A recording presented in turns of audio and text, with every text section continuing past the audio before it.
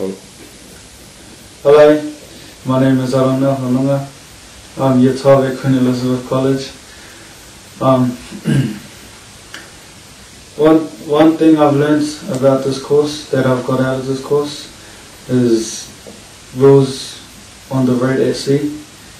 Um, I'll use some of the stuff I learned from this course to help my family when they go on when they go fishing.